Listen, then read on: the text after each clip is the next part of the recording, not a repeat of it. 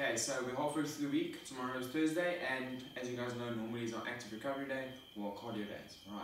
So um, we're going to do a longer workout with a nice uh, cardio piece in the middle, uh, descending ladder, cardio, ascending ladder. Alright, so we're going to start with a warm up. We're going to do our running warm up because we have running. Um, so as you guys know, normally we walk up and down the gym and we do the stretch, uh, these stretches together. And I'm just going to show them to you, and you do 10 reps of each, five on each leg. Alright, so the first, first one is walking knee hugs. Okay, you can do five per leg, 10 total. Next one is the glute stretch, figure four. Alright, then we've got quad stretch. Right, then we've got changing the chicken. Alright, then we've got walking lunges. Stretch over here.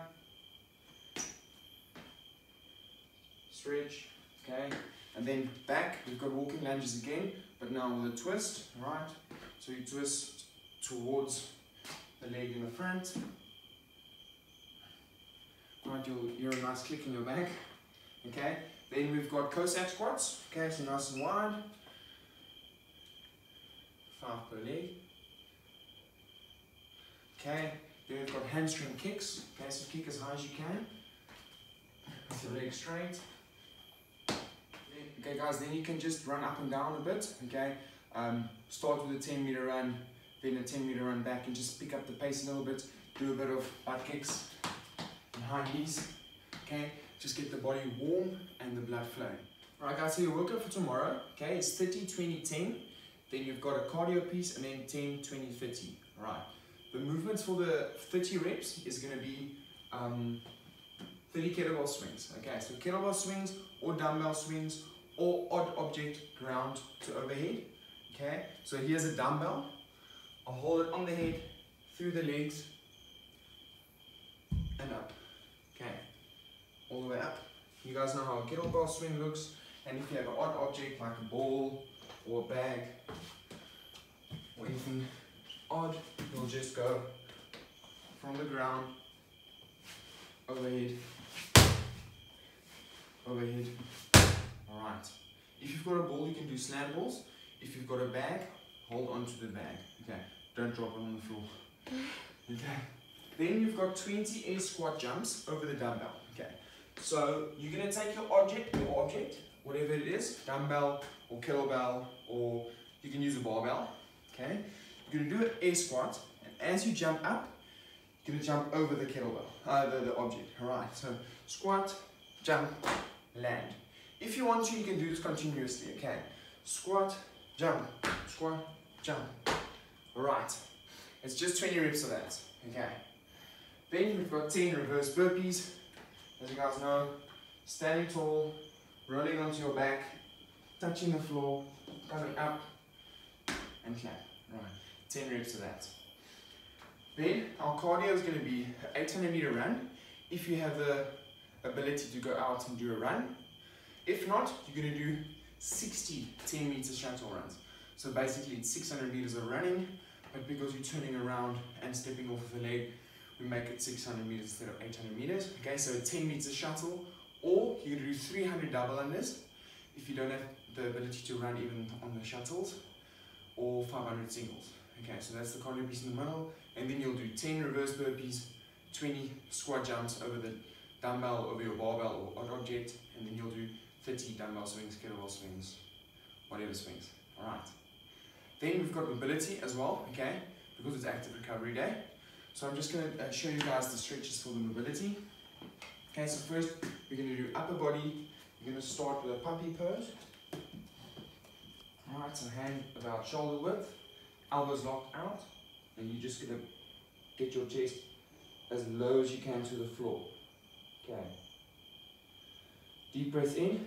Every time you breathe out, get low to the floor. Okay, you'll feel the, the stretch in your upper uh, and middle back, alright, and the shoulders. Okay, the next one we're to do is wrist stretches. So in this position, you guys know the wrist stretch we do. Hold that for 30 seconds, and you'll turn around and you'll hold Remember, externally rotate your shoulders, your elbows, okay? You hold that for 30 seconds, okay? Then the next one is shoulder to floor. So again in this position, you're gonna put your hands diagonal, alright? So at a 45 degree, and then you're gonna try and bring your chest, your shoulder to the floor. You'll feel that stretching nice in the chest over there. Okay. So you guys can do 30 to 60 seconds on one arm, and then 30 to 60 seconds on the other arm. Alright. You can go longer guys if the skills, if you enjoy the stretch, you can go longer. Alright. Okay. Next we've got the couch stretch. So against the wall, I'm just going to imagine this is my wall. Foot goes against the wall, on the knee, stretch over here, okay? 30 second stretch, then you'll go forward, 30 second stretch over there. Hey Sammy, what you doing here? Alright, and you're gonna swap legs. Okay, next we've got the pigeon, alright. Leg, try and get that foot in line with your chest, alright? And you'll feel the stretch in the glutes, okay? As you get more supple in this in this position, more comfortable, you try and get lower. Alright, that's a good stretch. Okay, so let's do 60 seconds per leg. Then we've got the butterfly. Alright. There. Bottom of the feet against each other. Pull your legs up as high as you can. Get your hands under your toes. Interlock them. Right. From here, you straighten your back. Okay, so push your chest out and bring your shoulder blades together and push your knees down. Alright, so squeeze your glutes, push your knees down, and you feel the stretch in your upper back and your groin. Alright, mostly groin. Keep that for 60 seconds. Then we've got the pike. Alright, so guys, this is basically, you'll feel in the shoulders as well, but you must try and keep your heels on the floor. Okay, so I'm going to try and keep my heels on the floor, and I'm going to push back as far as I can. Now as you guys can see, my back's slightly rounded.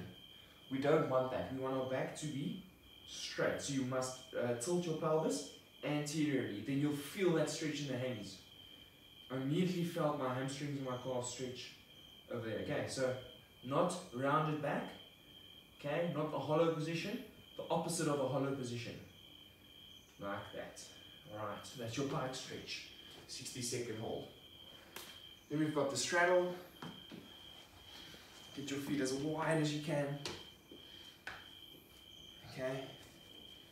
Keep your back nice and straight, and then you lean forward. You can hold, you can grab onto something to pull yourself more. Okay, but it's important that you try and keep your back as straight as possible. Don't round like that. Okay, see it's very easy for me. I'm not really feeling any stretch over there. Straight back and down. Okay. And then the last one is a kneeling split.